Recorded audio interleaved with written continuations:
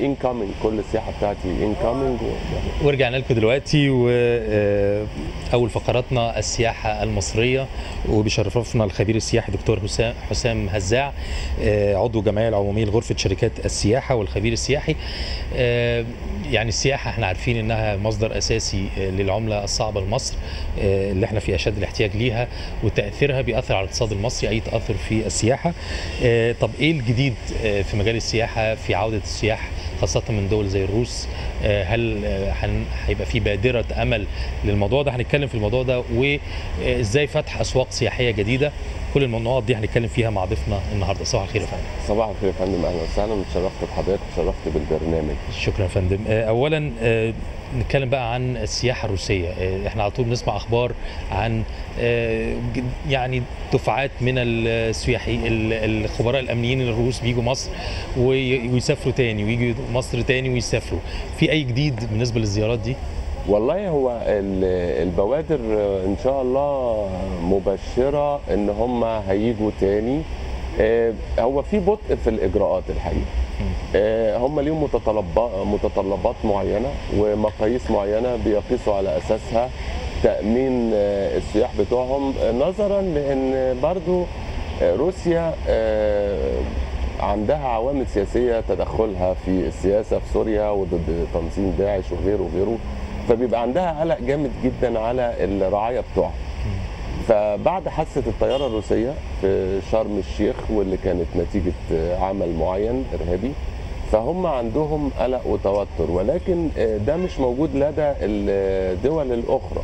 فهم طالبين معايير ومقاييس معينة. فهنا في مصر بتبتدي أو صحيح في بطء في الإجراءات ولكن طبعا آه، المعايير والمقاييس لسه ما وصلتش لدرجة الكمال اللي هي مطلوبة أو للدرجة اللي هي مطلوبة من الروس آه، بحيث إن هم ينزلوا رعاياهم. بس في القريب العاجل تفرج الأزمة لأن كان قبل حادثة الطيران أو هنقول حتى في خمسة قبل 25 يناير كان بينزل ما يعادل 3 مليون سائح روسي في مصر وده كان أكبر نسبة موجودة ليها الألمان.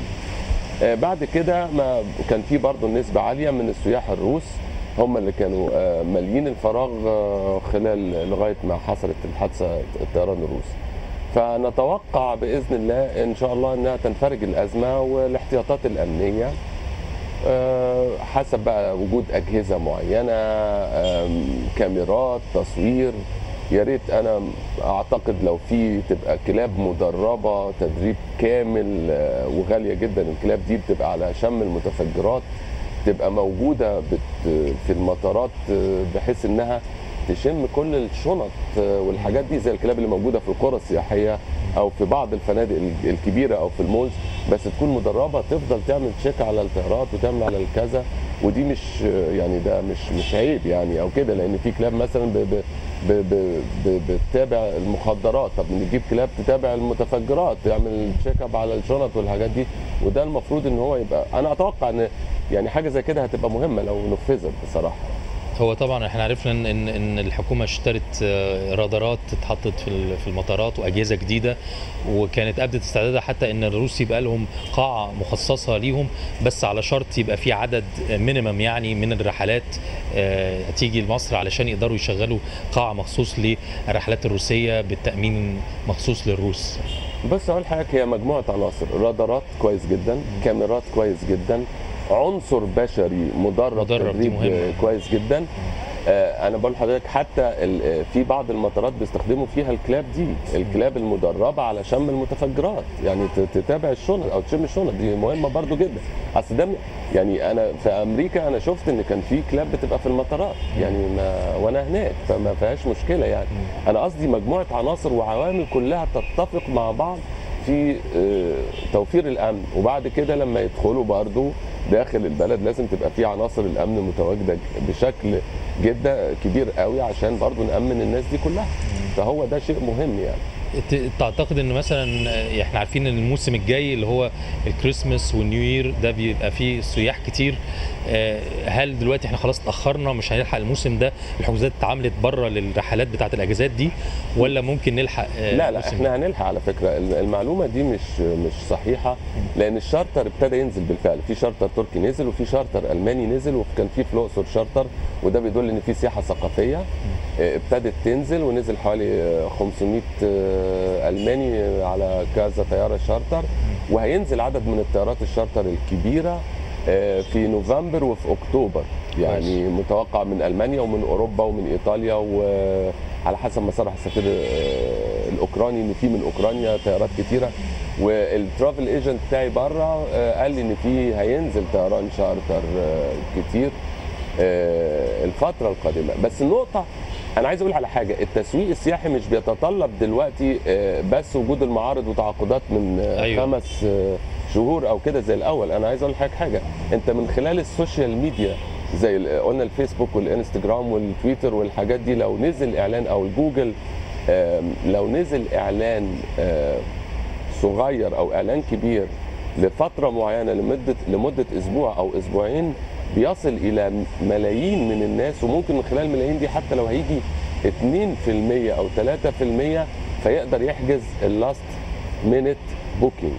واخد بال حضرتك آخر يعني دقيقه الحجز آخر الدقيقه آه. يعني الشركات بره. بتستخدم في أوروبا دلوقتي ال- ال social media والإنترنت وال يعني مثلا توكيل سين توكيل سين ده بيبقى عامل آه، بال search engine يبقى رقم واحد بيعمل اعلان الاعلان ده بيجي له من كل حاجة بيحجز اونلاين عنده وال- وال- وال excursion لمصر سواء كان ففي طيران شارتر وفي رجال اعمال مستثمرين تقال جدا آه، عندهم الطيران اللي بيجيب لهم الناس بتاعتهم هنا يعني للغردقة أو مأجره بقى whatever ده بتبقى عملية أسرع من الأول بكتير يعني. لأن إحنا وصلنا لل- للتكنولوجيا إذا كان يعني هقول لحضرتك مثلا من 100 سنة كنا بنستخدم ال trunk فاحنا وصلنا لل iPhone 7 مم. فأنت بتتكلم دلوقتي إن أنت لازم تواكب العصر ال social media حتى في السياحة الداخلية.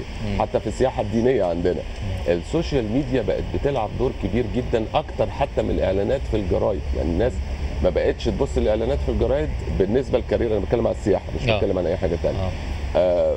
بتبص كله على النت دلوقتي ويشوف. التذاكر الطيران ويشوف الأوتيلات ويطلع على النت على طول كله. ده ال individual اللي هو بي أنا ما بتكلمش أنا ب... أنا بتكلم عن الحدث نفسه ال event يعني. ال... في ناس بتحجز أونلاين بس دي بتبقى م... بيجد صعوبة في إن هو يرجع الفلوس من الشركة وما يتعاملش مع حد و non-refundable ما ترجعلوش فلوسه وإزاي يقدر يأخر الميعاد وإزاي يأجله. فدي ليها ال positive وال negative الإيجابيات والسلبيات. لكن أنا بتكلم لما أجي مثلا بعمل حدث دلوقتي في ال social media. بقول مثلا إن فريق زي فريق آه، في events في فرق جاية زي فريق مودرن توكن جاي في مرسى علم أو جاي في سوما باي أو في حاجة زي كده في شهر معين. طيب في ال social media بتتعرف كل حاجة. آه، في فريق مثلا جاي ما أعرفش يعني أو أو بطولة فرقة بطولة أي حاجة. أقول لحضرتك حاجة لما بطل أولمبي دلوقتي عندنا أو بطل بيكسب في الدورة اللي شغالة اللي هو دورة المعاقين دي آه، بيكسب ميدالية ذهبيه بتلاقي ال social media كلها بتتكلم عنه في لحظة. خلاص؟ والإعلانات والجرايد و و و و. دلوقتي إحنا عندنا ال ال ال social media بتلعب دور كبير جدا في إنها تعمل last booking يعني ممكن تبص تلاقي حضرتك إيه شركة تنزل إعلان مثلا تبص تلاقي الإعلان ده نزل في ال social media بره. خلاها تملى طيارة كاملة شارتر تنزل مصر. فهو متوقع إن شاء الله في نوفمبر إن يبقى في شغل. بس مش أنا ما بتكلمش عن السياحة الروس أنا بتكلم مثلا عن السوق الألماني الس- السوق الأوروبي. وده سوق مهم لمصر يعني مش آه طبعا لأنه أقرب سوق لمصر هو السوق الأوروبي أقرب من من سوق آه، شرق آسيا وأقرب من آه، من من أمريكا اللاتينية وكده لأن ده محتاج خطوط ودي النقطة اللي هنتكلم فيها. آه ما إزاي بقى؟ محتاجين طيران كتير جدا. إزاي إزاي ندخل الأسواق الجديدة؟ يعني آه، اعتمادنا على سوق واحد آه، زي أوروبا آه، يعني واضح إن هو صحيح مجزي ولكن في المشاكل السياسية بيتاثر جامد. إزاي ندخل بقى على آه، سياحة دول تانية؟ حضرتك بتقول في مشكلة في الطيران. المشكلة دي مع آسيا ولا مع أمريكا؟ يعني مع انه دول؟ لا هو المشكلة دي مع بعض المسافات ومفيش عندنا يعني فرصة إن المستثمرين القطاع الخاص إحنا عندنا مصر للطيران آه، تعتبر الشركة الوطنية وهي ما عندهاش كافة الخطوط اللي هي للمناطق دي. فإحنا لما بيجي لنا سياح مثلا من أستراليا أو من كندا أو من آه، من آه، اليابان مثلا ما فيش طيران. فلازم يجي على خطوط طيران مختلفة. خطوط الطيران الدولية أو العالمية المختلفة دي بتبقى غالية. مش مش كل شخص في أوروبا في أمريكا اللاتينية أو في آسيا أو في كندا أو في أستراليا بيبقى قادر على دفع مثلا قيمة تذكرة 1500 دولار أو كده. أو أكتر. إيه، أو ساعات 1000 دولار. آه، 1000 دولار دلوقتي رقم يعني. بالنسبة لمصر. ف آه، كتذكرة طيران لوحدها فإحنا المفروض يبقى عندنا آه، في نوعين من السياحة. إن إحنا يبقى عندنا إتاحة الفرصة للمستثمرين. إن هم يبقى عندهم الطيران الخاص بتاعهم الشارتر اللي يفتح خطوط زي كده ويبتدي يجيب وتبقى في منافسة مش شركة واحدة يبقى في ست سبع شركات آه، تقدر تجيب ال- المسافات البعيدة تقدر تروح الهند تقدر تروح الصين تقدر تروح تايلاند تقدر تروح يعني إحنا ممكن يكون عندنا رحلة مثلا لمصر الطيران لمنطقة في الصين أو لبلد زي جوانزو أو شنغهاي رحلة واحدة. بتبقى مثلا الفترة دي. يمكن عشان في شغل وفي بيزنس وكده لل- للرجال الاعمال المصريين أو للتجار المصريين لما بيروحوا المعارض الفترة القادمة. لكن ما عندناش لل, لل... لل... عايز أقول لل... للعميل العادي أو للسايح اللي هو يقدر يجي بالطيران ده لأن الطيران ده غالي. فده بيناسب مستوى معين من ال... ال... الأشخاص أو الأفراد وإحنا ما نقدرش نعتمد في سياحتنا على الناس دي. طب آه، طب نتكلم عن الصين. مم. يعني الصين آه، صدرت حوالي 20 مليون حسب ما فهمت سايح السنة اللي فاتت. مم. أكبر عدد آه، من دولة واحدة يعني. آه. آه، معظمهم راح لأوروبا مثلا ولا بيروحوا للمناطق المجاورة ليهم؟ ممكن أمريكا جزء. إزاي اجيبهم لمصر؟ هي اوروبا تعتبر مسافة برضو بعيدة. آه. يعني مشكلة التذكرة المفروض تبقى لمصر برضو لو هو هيدفع مش قيمة التذكرة خطوط الطيران قليلة. يعني خطوط الطيران يعني عايز أقول لحضرتك يعني ممكن كان في مثلا خط طيران ما بين مصر و... و... واليابان مثلا اوزاكا أو كده ما بقاش موجود طيب الناس هتيجي إزاي ما هو مش موجود عشان مفيش عدد كفايه أكيد بالظبط ما هو ما هو بقى العملية نتيجه الظروف السياسيه والفترة اللي فاتت إحنا آه محتاجين تسويق بس لما يكون في طيران شارتر يعني أنا أقول لحضرتك حاجة لما الطيران الشارتر تقف تذكره الطيران مثلا ب ب- ب 300 أو 200 يورو أو 290 أو sorry 300 يورو مثلا آه، هنقول للصين تبقى مثلا 400 دولار أو 500 دولار غير ما تكون مثلا رقم كبير بقى تدخل في 1000 دولار. آه. فأنت ال- كان في برضه موضوع الفيزا في المطار إن ال ال ال الزبون الصيني أو العميل الصي أو ال- ال- السائح الصيني ما يقدرش ياخد الفيزا في المطار ففي بعض الدول آه، عاملة آه، إن تكون مع حضرتك 2000 دولار وأنت داخل تاخد الفيزا في المطار وتكون. معاك حجز فندق أربع وخمس نجوم فطبقوا النظام ده مع الصين دلوقتي فده هيسهل إن هو يبقى حاجز مثلا فندق أربع أو خمس نجوم بلس 2000 دولار فياخد ال ال الفيزا ده طبق في- هنا في مصر دلوقتي آه أنا قريت إن هو. اتطبق دلوقتي من التسهيلات اللي هتمنح للصين عشان ده نوع من الحافز كويس. نوع من التسويق لل, لل... بس هتيجي في طيران شارتر دلوقتي شغال مع الصين. لو إحنا قدرنا نخلي طيران شارتر برضو مع الهند طيران شارتر على طول مع أمريكا اللاتينية وأمريكا اللاتينية كبيرة جدا. ما فده هيقلل من تكلفة الرحلة فهيجوا الناس المسافات الطويلة دي. لكن إحنا بنحجز للناس على خطوط طيران دولية مختلفة. دي غالية طبعا. آه طبعا أغلى. آه. طب إزاي بقى نوصل لل- للأسواق دي؟ ما أنت عشان تعمل لهم شارتر أنت عايز تضمن إن الشارتر ده يتملي ما يروحش ويرجع خسران. آه، يعني هل إحنا طيب. فعلا واصلين لأمريكا اللاتينية؟ هل واصلين للصين بشكل كافي؟ للهند؟ بس أنا عايز أقول لحضرتك حاجة إحنا يا ريت نقدر نوصل في مطاراتنا لسياحة الترانزيت. سياحة الترانزيت إن بيجي الطيران أي طيران دولي أو طيران شارتر من حتت تانية ي- من أمريكا اللاتينية من الهند من الصين من تايلاند من أي حتة مثلا وطالع على جنوب أفريقيا. ينزل مصر. مصر يعمل ترانزيت يقعد سبع ثمان ساعات هيبقى عندك ال- ال- السياح دي موجودة. ممكن ناس تنزل مصر وناس أخرى تكمل على أفريقيا. العكس من دول أفريقيا بقى سواء بقى كل أفريقيا. تيجي مصر وتبقى مصر سياحة الترانزيت الطيران كله ينزل في مصر ومن مصر ينزل لأمريكا اللاتينية ينزل لأوروبا ينزل للصين ينزل لكذا.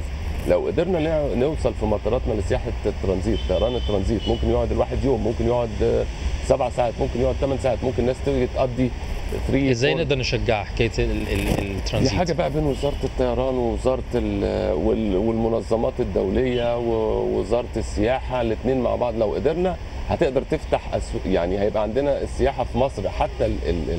ال... كل الأحداث العالمية.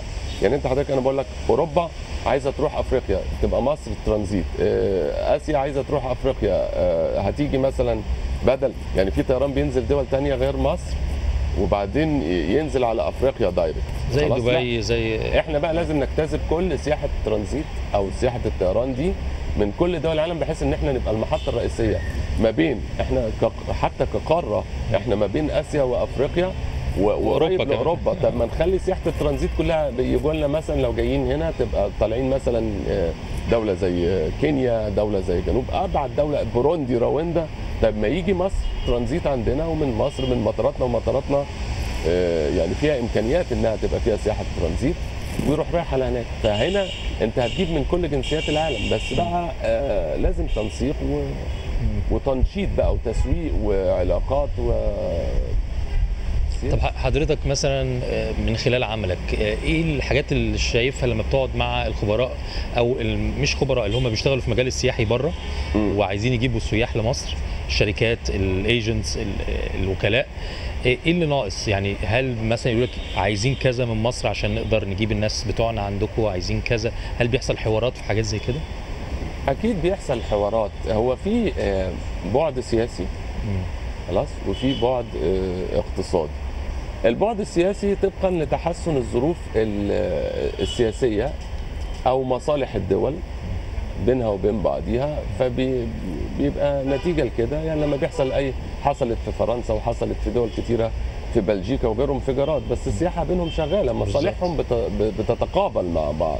فده الجزء السياسي. آه، الجزء التسويقي الآخر اللي هو آه، إن إحنا بنفصل آه، البحر الأحمر عن الأقصر وأسوان عن القاهرة عن آه، سينا. لأن موضوع إن في آه، حرب على الإرهاب في سينا ده بي- بيأثر. بيسمع. مسمع جامد. فإحنا بنقول سياحة البحر الأحمر سياحة كذا سياحة الشاطئية سياحة القاهرة أو سياحة القاهرة. أنا آسف. في عندنا أنواع كتيرة بس ال- التسويق الحوافز اللي ممكن نديها للأجانب آه، بالذات إن إحنا دلوقتي في مرحلة من المراحل إن إحنا محتاجين الأسواق كلها إنها تيجي عندنا. إحنا مش واصلين لمرحلة إن إحنا نقدر نملي شروطنا. يعني في كذا مرحلة. في مرحلة إن إحنا بنفضل نسوق لازم نقعد نسوق على طول بكل الطرق بقى. ال events المشاهير اللي بيجوا الأحداث العالمية على طول دي حاجة كناحية تسويقية. من القطاع الخاص ووزاره السياحة ومن هيئة تنشيط السياحة. ال- الابتكار الابتكار ال- إن الواحد يبقى creative في آه، يعني زي ما بقول لحضرتك ما ينفعش نس- نسوق آه، فيها في بنفس الطرق التقليدية اللي كنا بنسوق بيها من 60 70 سنة. آه، هو الراجل شاف الحاجات دي كذا مرة. لازم أواكب العصر لازم أواكب ال- social media لازم يبقى عندي قنوات بقى دي مش مش في إيدينا بس لازم تكون عندنا قنوات عالمية. آه، في أحد آه، زي ما قلت لحضرتك الدور الإعلامي كبير برضو لو بيقولوا لنا إحنا ما بنسمعش عن مصر. هو طبعا ده بس في آه، أحد الأفلام وكان في مسلسل في رمضان اتكلم أو أظهر مصر بشكلها الجميل جدا. المناطق السياحية الإليت البحر ال- مش ال- ال- اللي هي الحاجات بقى الضرب والقتل ولا لا. فده برضو نتيجة لشهرة هذا الفيلم. حقق أرباح وسمع في على الأقل في الشرق الأوسط. إحنا لو عندنا كل ال ال ال الحاجات دي وبالذات الإعلام والقنوات التلفزيونية اللي هي حتى بتاعت القطاع الخاص أنا مش هقول عندها المقدرة إنها تبقى ليها فروع في أوروبا بتبث صورة كويسة عن مصر دايما وبتتكلم عن مصر والمناطق الجميلة والسياحة وبرامج كلها عن مصر. حتى لو كانت البرامج برامج إيجابية برامج توك شو تبقى إيجابية. اللي بيواجهنا من مشاكل مع ال- ال- السياح ال- ال- الأجانب بس دي اللي هو ممكن يبقى مضايقة السياح بعض ال عايز أقول بعض تحرشات بعض دي هو لازم ال- السائح لما يجي يحس بان هو آه، في الهوم يعني في بيته أو كده. مش بيحس إن هو آه، قلقان لقمه أو متوتر. الكل يعني أنا آسف في التشبيه إن كله عايز يعني يا- يا- ياخد منه مصلحة أو يعمل منه أو دي نقاط. بالنسبة لو في شركات زي ما حضرتك بتقول هتأمن المناطق السياحية الشركات دي طبعا لازم يعني القوانين تكون صارمة بمعنى إيه؟ تطبق. ما ينفعش إن تلاقي آه، بياع موجود بيلاحق السائح بياع موجود مش عارف إيه. دي الشكاوي اللي بتيجي آه، من ال- ال- الخبراء أو كده. يعني ال ال القرار الأخير من الحكومة بان هي تفعل وجود شركه قطاع خاص في تطوير المناطق ال ال زي الأهرامات مثلا تطويرها ولا حمايتها حم- وأمنها؟ كله. آه. يعني يعني هيحطوا آه، زي ما بيقولوا تواليتات جديدة آه، مطاعم جديدة آه، بس بشكل معين تأمين المنطقة آه، غلقها وتأمينها آه، تنظيمها من جوه. يعني إعادة تطوير المنطقة بس من خلال القطاع الخاص حسب ما أنا فهمت كده. يا ريت. ويا ريت ما تكونش شركة واحدة. يعني أنا عايز أقول إيه بلاش موضوع ال ال ال ال الشركة واحدة إن هو تكون في كذا شركة عشان يبقى في منافسة دي شركة هنا ماسكة منطقة الأهرامات في شركة تانية ماسكة منطقة كذا بحيث إن يحصل تنافس لتقديم خدمة للسائح وتقديم خدمة للمنطقة وتقديم خدمة لكل شيء. طبعا هتبقى لأن مش هتقدر ال ال ال التأمين بتاع المناطق يكون كله منصب على آه، الداخلية أو كده لأن طبعا في آه، مشاكل كتيرة بتواجه السياح في منطقة الأهرامات بتواجه السياح في مناطق مختلفة نتيجة مثلا وجود بعض الباعة الجائلين اللي بيعملوا مشاكل أو كده ووجود ناس ما معهاش آه، تصاريح بتدخل برضه وهكذا آه، بعض هذه المناطق. فده طبعا آه، مهم جدا. تمام. آه، دكتور حسام هزاع عضو الجمعيه العمومية لغرفه شركات السياحة والخبير السياحي شرفتنا النهارده يا فندم. أشكرك لوجودك معانا. شرفتنا يا فندم وأشكر حضرتك وأشكر البرنامج على هذا اللقاء الجميل. شكرا. ونروح دلوقتي الفاصل ونكمل باقي فقرات مصر جميله